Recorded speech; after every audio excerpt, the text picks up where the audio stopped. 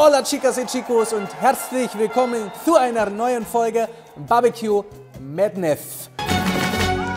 Ihr hört es schon, es wird Spanisch und wir sehen hier die Schnittbilder, Leute. Oh, das wird ziemlich geil, denn wir machen heute eine absolut und fast authentische Paella Valenciana.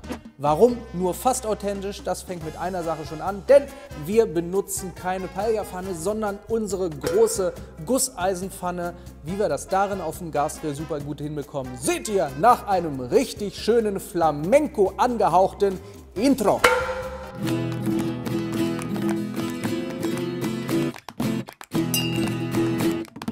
Alright, liebe Leute, also es ist ein fast authentisches Rezept der Paella Valenciana. Und die Paella Valenciana ist übrigens die originale Paella. Es gibt keine Paella, die so original ist, wenn man über Paella spricht, wie die Paella Valenciana. Ich werde dieses Drei. Wort Valenciana heute noch sehr oft sagen, deswegen könnt ihr zu Hause einfach mal mit mir üben. Stellt euch mal alle hin. Genau, hier, du auch, ja, die Kinder auch. Und jetzt alle mal zusammen. Paella Valenciana. Paella Valenciana. Paella Valenciana. Sehr schön. Okay, also, natürlich macht man so eine Paella Valenciana in einer Paella-Pfanne. Und die Paella-Pfanne ist nicht nur die Pfanne, sondern auch im Wörterbuch, im spanischen Wörterbuch, sowohl die Pfanne selber als auch das Gericht der Paella. Da seht das schon Leute, deswegen Puristas hassen diesen Trick. Äh, wir haben natürlich keine Paella-Pfanne. Wir blenden hier mal eine ein, wie diese Dinge aussehen. Habt ihr bestimmt schon mal gesehen. Die können bis zu, weil nicht mehrere Metern groß sein für ganze Dorffeste.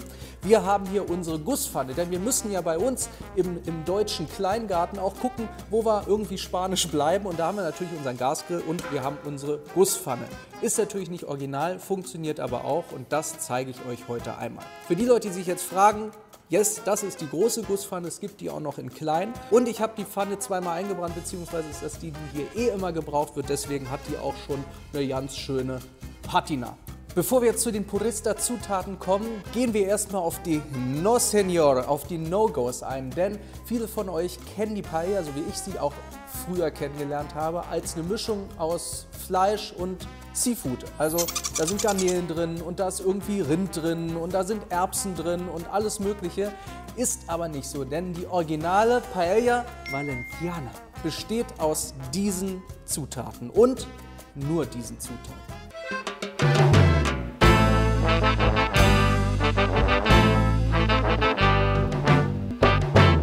Denn in die originale Paella Valenciana gehören so schöne Sachen, die ihr vielleicht cool finden würdet, eben nicht wie saftigste Garnelen, Paprika und Gemüse, no señor. No, God! Leckerste Chorizo, por no, aber auch weg. No, no! Last but not least ist so nicht ganz No-Go. Knoblauch ist in manchen Teilen von Valencia, in manchen Familienrezepten mit drin.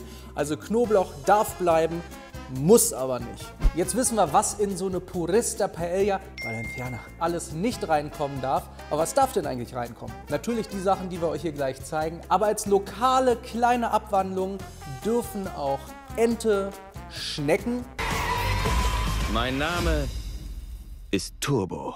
Ja, Leute, Schnecken sind da sehr en vogue in äh, Valencia, in der Ecke. Und auch Leber rein.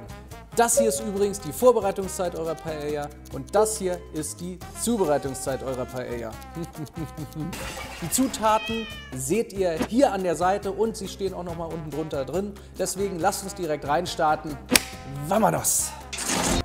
Walle, fangen wir an mit unserem Mise des Gemüses und hier haben wir einmal die Brechbohnen. Bei uns heißen die äh, Brechbohnen, äh, in Spanien heißen die Bachoqueta und die findet man, Leute, in einem gut sortierten Supermarkt oder beim Türken. Auch sehr cool, ich habe die jetzt beim türkischen Supermarkt genommen. Das sind wirklich diese großen, flachen Bohnen. Und das ist ziemlich simpel, wir schneiden hier einfach die Enden einmal ab und schneiden die dann so, ja, ich kann ja mal nicht so schwer schätzen, aber ich denke mal so in, in 5 cm große Stücke. Ist ja alles rustikal, liebe Leute, denn eine Paella ist ja kein Fine Dining. Im Gegensatz kommen wir am Ende im Fazit auch noch mal zu. Das ist ein Gericht der Bauern. Okay, die Bohnen sind fertig. Dann haben wir hier noch diese dicken weißen Bohnen. Ich glaube, in, in Griechenland heißen die Gigantes oder so. Ähm, hier heißen die Garafon. Das sind quasi dicke weiße Bohnen und die nehmen wir, weil diese Bohnen nicht so viel Stärke haben. Denn der Reis hat ja schon unglaublich viel Stärke und wir wollen ja nicht, dass die Soße mega kompakt sämig wird. Deswegen nehmen die Spanier diese wunderschönen Böhnchen. So Leute, diese zwei schönen Dinger sind Artischocken. Viele kennen die nur aus dem Glas, da sind die ziemlich widerlich. Aber so eine gute, äh, frische Artischocke ist ziemlich geil. Wird in Spanien natürlich auch angebaut, ist ja klar. Man nimmt, was man da findet für die Paella. Und äh, die zuzubereiten ist auch gar nicht so schwierig, wie viele glauben. Ich zeige euch das mal ganz kurz. Hier, komm mal ran auf den Meter. Den Stiel schneiden wir ab. Dann halbieren wir das Ganze einmal. Das hier, liebe Leute, was so aussieht wie der Rest eures äh, blonden Bartes im äh, Haartrimmer, ist das Stroh der Artischocke und das ist nicht essbar und das schälen wir hier einfach raus und dann ist das Ding eigentlich schon fast fertig. Das hier ist übrigens das Artischockenherz und dann ist die Artischocke fast bereit. Wir schneiden jetzt nur noch in mundgerechte Stücke. Ich habe jetzt nur eine halbe hier reingepackt. Wie gesagt, die Pfanne reicht so bis zu vier Personen. Wenn ihr absolute Artischockenlover seid und da keinen Schock bekommt, wenn da zu viel drin ist, dann könnt ihr natürlich auch die ganze reinpacken. Alright. Und Leute, ganz, ganz klassisch besteht die Paella aus Huhn und Kaninchen. Kaninchen ist bei uns relativ schwierig zu bekommen, wenn nicht gerade Saison ist. Kann man natürlich beim Metzger vorbestellen. Aus zwei Gründen habe ich es nicht. Erstens, ich habe es auf die Schnelle nicht bekommen und so Tiefkühlware wollte ich da nicht nehmen. Und zweitens, ich hatte mal einen Kanickel. Grüße gehen posthum raus an Hoppel. Ja. Wie gesagt, wenn ihr kein Kaninchenfleisch bekommt oder es einfach nicht reinpacken wollt, dann nehmt einfach ein Stückchen mehr Hühnchen. Und das ist auch ganz klassisch. Ich nehme hier nämlich unser schönes äh, Ragnar-Messer, weil wie gesagt, das hat ordentlich Gewicht, da kann ich Hühnerknochen zerdeppern mit. Nehme ich die Beine und die Flügel, denn auch Knochen geben natürlich beim Braten so ein bisschen Geschmack und es soll ja auch richtig rustikal sein. Also,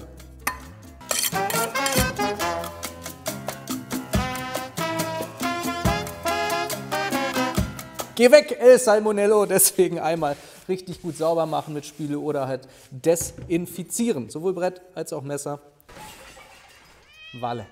Ja, dann kommt jetzt der gemütliche Part und wir packen unsere Gusspfanne, unsere Fake Paella Pfanne, Paella, der Fake, auf unser Seitenkochfeld hier beim Earl. Wenn ihr die Fred-Serie habt, ist es natürlich das normale Seitenkochfeld und wir stellen das auf mittlere Hitze. Hier bei Earl reicht wahrscheinlich, weil der Brenner hat ein bisschen mehr kW, auch mittel- bis kleine Hitze aus. Wenn die Pfanne langsam heiß wird und wie gesagt, wir können hier gleich mal drauf, drauf gucken, auf wie hoch ich das jetzt gestellt habe, geben wir das Olivenöl rein. Und in einer echten Paella-Pfanne wird die Pfanne immer so ein bisschen angekippt. Das können wir hier mal sehen. Und man füllt das Öl auf, bis es hier den Rand berührt. Leute, unsere Gusspfanne hat natürlich einen weitaus höheren Rand. Ne? Wenn er das bis zum Rand auffüllt, da können wir aber frittieren drin. Ja. Deshalb gebe ich hier wirklich ja, so den Boden, dass der Boden bedeckt ist, einmal an spanischem Olivenöl rein. Ja, wir wollen ja auch authentico bleiben, Leute. Wir warten jetzt kurz, bis das Öl ein bisschen heiß geworden ist. Es soll nicht richtig krass zischen, also wir wollen nicht die härtesten Röstaromen dran packen. Wir wollen das langsam braten, denn das Huhn ist ja eine Weile drin. Deswegen nehmt doch einfach mal so ein Stück und guckt mal, ob es schon soweit ist. Wir hören mal. Für alle, die mit Öl arbeiten übrigens, das spritzt hier ganz schön, äh, ist auch auf kleiner Hitze ziemlich, ziemlich heiß. Deswegen, wir hatten diesen Trick schon oft, hier einfach dieses Stöfchen von einem anderen Gasgrill oder eurem Campinggrill oder sonst wie, stellt ihr hier unten drauf.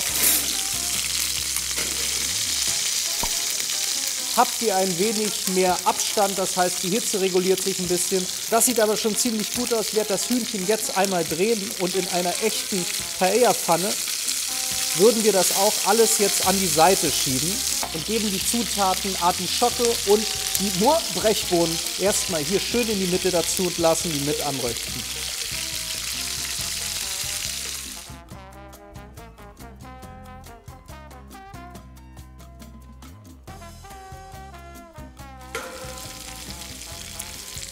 Oh, riecht es hier schon valencianisch, liebe Leute.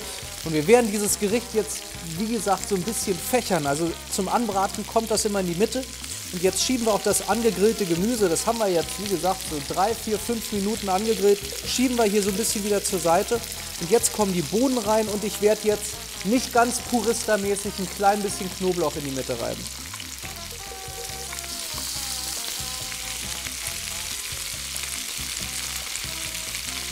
Bisschen Salz kommt natürlich auch drauf. Leute, ich salze immer sehr weit von oben, weil ihr habt dann eine super gute Kontrolle darüber, was alles gesalzen wird. Wenn ihr runter geht, dann habt ihr manchmal so ein bisschen punktuell von weit oben, besonders in so einer großen Pfanne. Muy bueno. Leute, das riecht so geil. Und das ist genau das, was wir wollen. Es brät hier unten so ein bisschen an. Also wir haben hier Bodensatz, der hier unten so ein bisschen anbackt. Und das sind die absoluten Aromen. Apropos absolute Aromen, jetzt kommt noch eine der wichtigsten Zutaten und zwar geräucherte Paprika oder Paprikapulver, spanisches Paprikapulver drauf. Und das sieht nicht nur viel, viel schöner aus von der Verpackung als unsere deutschen oder die ungarischen Paprikas, sondern es ist quasi auch geschmacklich komplett anders. Denn diese Paprika ist eigentlich eine Edelsüßpaprika, aber wird nicht in der Sonne getrocknet, sondern über Rauch getrocknet. Und deswegen hat dieses Paprikapulver ein unglaublich geil rauchiges Barbecue-Aroma.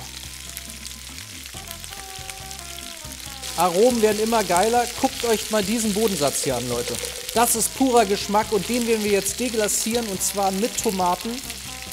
Natürlich, wenn ihr in Spanien seid, nehmt ihr natürlich geile spanische Tomaten. Ich habe mich jetzt hier für gute Dosentomaten entschieden, denn ähm, in Deutschland die Tomaten haben jetzt nicht so mega Geschmack. Deswegen ausnahmsweise aus der Dose.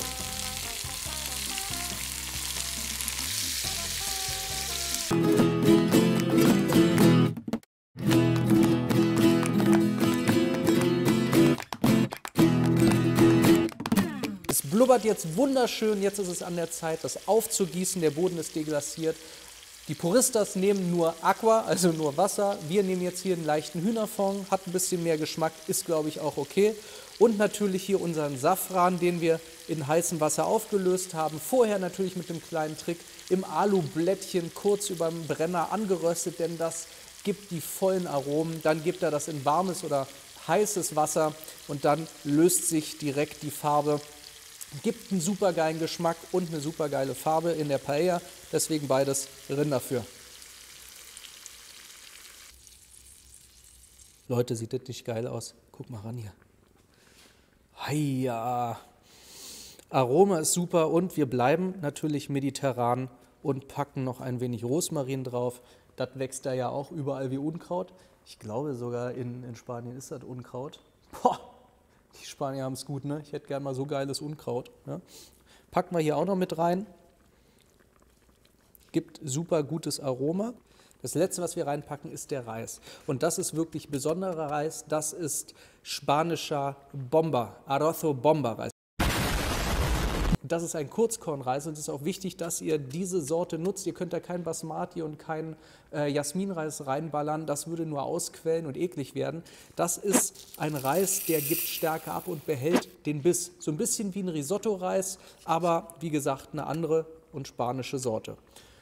Es ist jetzt essentiell wichtig, dass wir diesen Reis gleichmäßig rübergeben, weil wir werden das Gericht gleich nicht mehr viel anfassen. Deswegen habe ich mir das hier auf so einen Teller geschüttet einfach und werde das jetzt ganz vorsichtig hier drüber, damit der Reis wirklich gleichmäßig bleibt. Wir werden jetzt einmal den Reis und die Zutaten da drin fein justieren.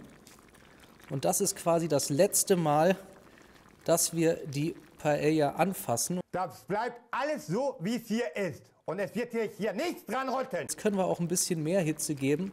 Jetzt kann das Ding ordentlich, ordentlich durchballern. Für die nächsten fünf Minuten schalten wir die Hitze auf jeden Fall auf mittel bis hoch.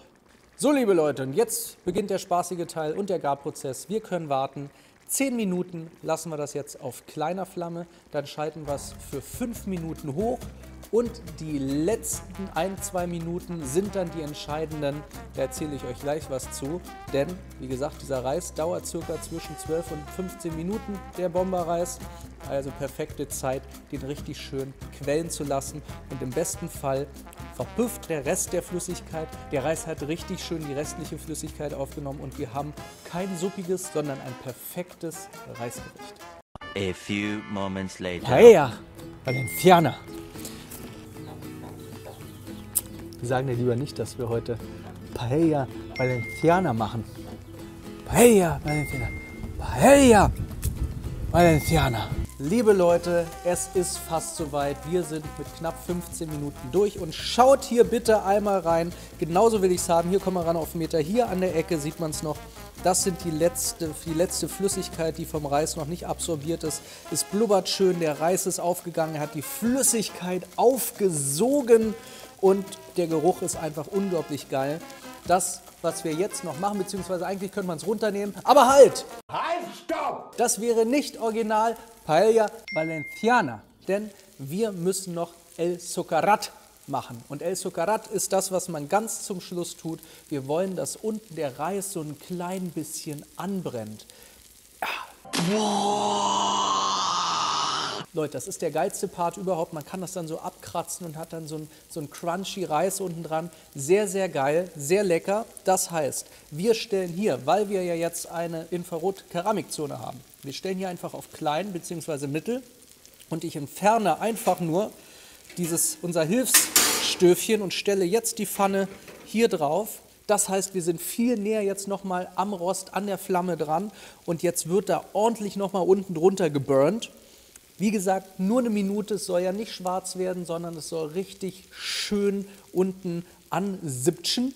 Und wenn wir dann fertig sind, nehmen wir die Pfanne traditionell vom Feuer, stellen sie auf den Boden oder stellen sie quasi auf ein Brett oder weg. Das heißt dann a terra. Dann warten wir noch ein, zwei Minütchen und dann sind wir ready. Ah, finalmente. Paella a terra. Finito. Kommt mal ran, hört euch das mal an, nehmt mal ein paar Impressionen wahr. Ich halte mal mein Mikro ran und ihr fahrt hier einfach mal über diese wunderschöne Paella drüber. Gegessen, liebe Leute, wird natürlich aus der Pfanne, da werde ich jetzt nicht anrichten, denn jeder nimmt sich einfach einen Löffel und verteidigt seine Seite. Wie man es noch präsentieren kann, ist mit ein bisschen Zitrone. Was auf jeden Fall wieder ein No-Go, ein No Senor ist, ist den Zitronensaft drüber zu drizzeln. Das machen wir nicht. Ich habe jetzt hier nicht nur eine Bio, sondern eine Demeter Zitrone, äh, unbehandelt. Und die schneiden wir einfach auf und setzen die hier einfach an die Seite. von Präsentationszwecken her.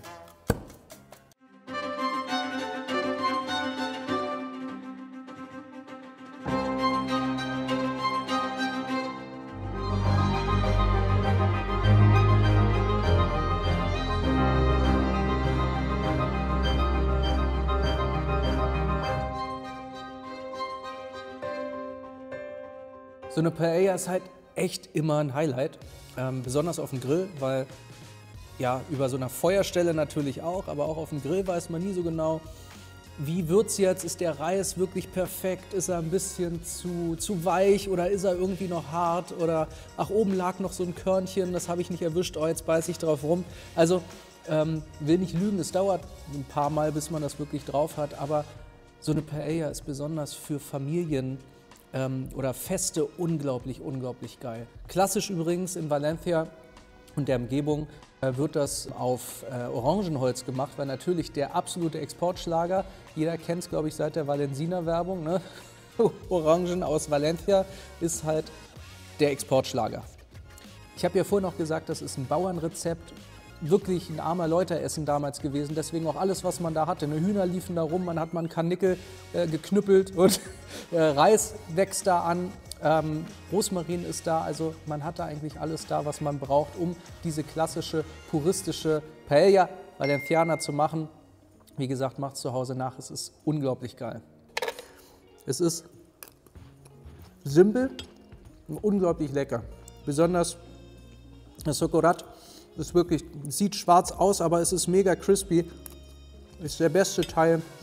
Wir haben die Aromen, die sie verbinden. Der Reis ist unglaublich lecker und saugt alles auf. Rosmarin schmeckt man. Und ich bin ja auch ganz großer ähm, Artischocken-Fan. Da übrigens, Leute, ich habe das jetzt ziemlich grob geschnitten. Ähm, natürlich kann man die lilanen Blätter nicht mitessen, sondern nur das unten und das Herz. Hm. Ich zuzel das dann immer ganz gern aus und lege das an den Rand. Wenn ihr es nicht möchtet, schneidet da einfach die Hälfte weg, dass die Blätter nicht dran sind und ihr benutzt nur das Herz. Und bevor ich euch ins Wochenende entlasse, wir waren jetzt so puristisch und haben wirklich nichts reingemacht, was da nicht reingehört, obwohl ich persönlich ganz gerne mal eine Gamba hätte. Leute, ich nehme mir hier Puristas hassen diesen Trick. No, God! Einfach noch ein Schlapp Aioli. Aioli geht immer und zu allem. Wenn er mal ein gutes Rezept braucht, blende ich hier oben mal ein. Macht's gut. Euer Federico. Achso, jetzt alle nochmal. Paella Valenciana. Ich bin stolz auf euch. Subscribe, subscribe. Subscribe, subscribe. Subscribe, subscribe. Subscribe, subscribe.